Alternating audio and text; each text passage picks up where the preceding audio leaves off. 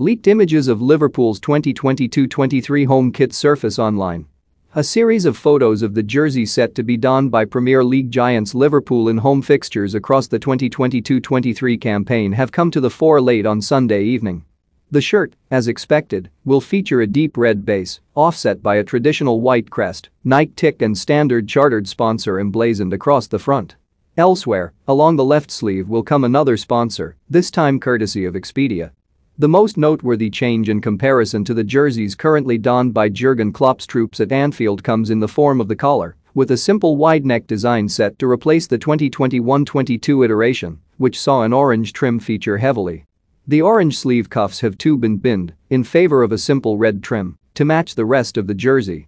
Check out the latest leaked images of Liverpool's predicted home kit for the 2022-23 season below. Credit to at and the reliable footy headlines for the pics. The latest images of Liverpool's jersey to be for next season of course comes fresh on the back of the Merseyside heavyweights sealing their latest three-point haul earlier on Sunday. This comes after Klopp's troops managed to keep their slim Premier League title hopes alive, courtesy of a 1-0 downing of Burnley at Turf Moor. Fabinho proved the difference maker on the day, continuing a fine recent spell of form in front of goal to guide the Reds to within nine points of table-topping Manchester City, all whilst boasting a game